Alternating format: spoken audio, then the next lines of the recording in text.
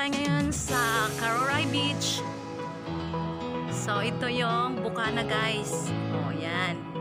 Medyo madilim.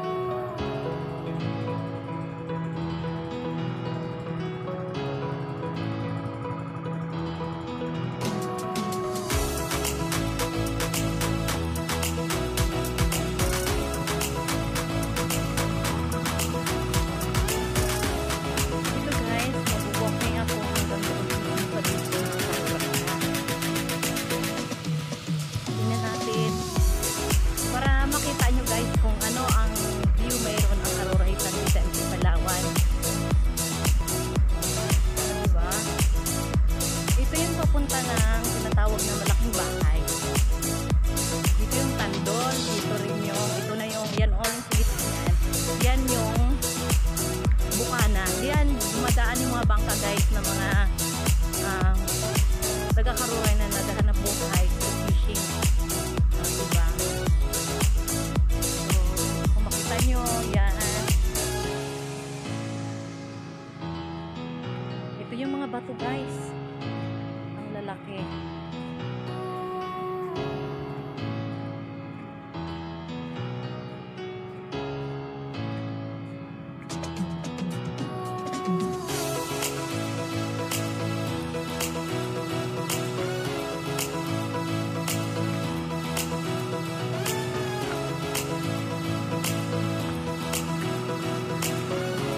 Medyo maingay guys dahil ang mga tao ngayon ay papunta sa mangingisda na sila.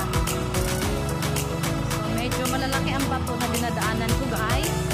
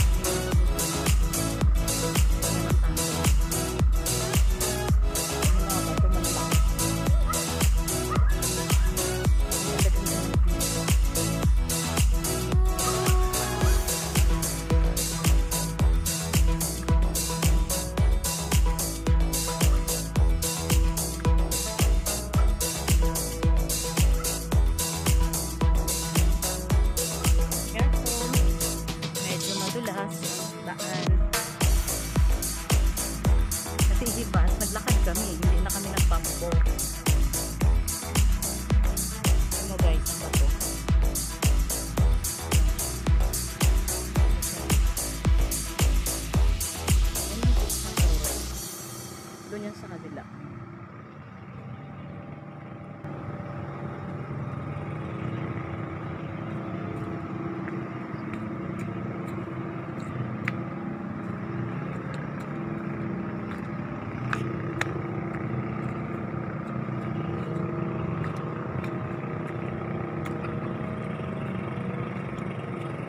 medyo masama ang panahon.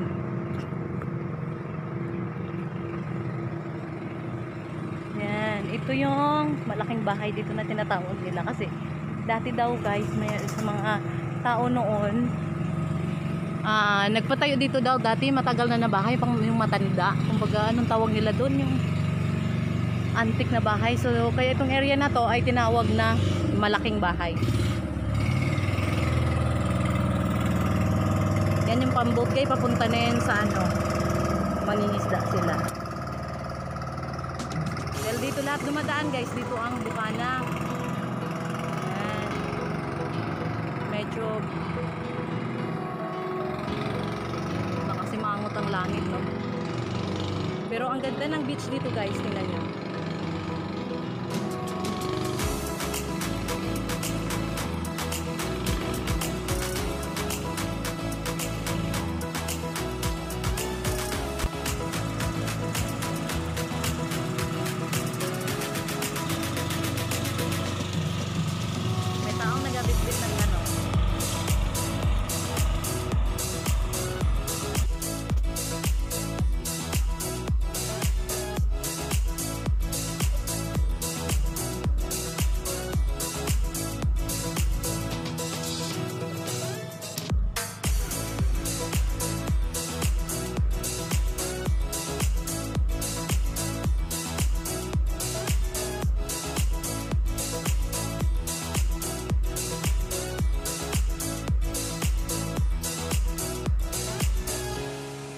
Ito ang view ng Karuray guys pagka pagabi na siya.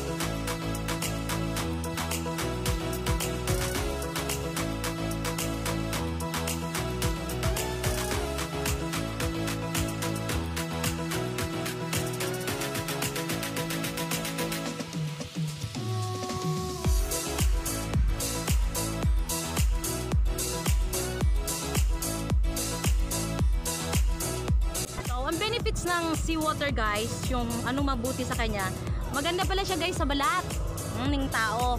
Although, sabi natin, medyo malagkit, di ba? Malagkit. Benefits of seawater, ha? Seawater rich in minerals like magnesium, zinc, potassium, iron, which each alone have fantastic benefits. Says Kevin, these minerals are anti-inflammatory, helping to heal the skin, protects the skin barriers. So, yun yung um, benefits ng seawater. So, ito guys yung view ng Karuray San Vicente. Vitamin C. Ang vitamin C or vitamin ng dagat. Ah, makikita natin ang surprising health benefits guys ang ang seawater. Yan guys. Yan yung akong ano guys, akong bana. Hello darling. Oh, thank you. ano yan? Anong tawag niyan? Hindi ko alam ang tawag niyan. Dito yan galing sa ano guys, sa tabing dagat. So, i-review ko sa inyo guys or ano pag-aaralan natin ngayon kung ano what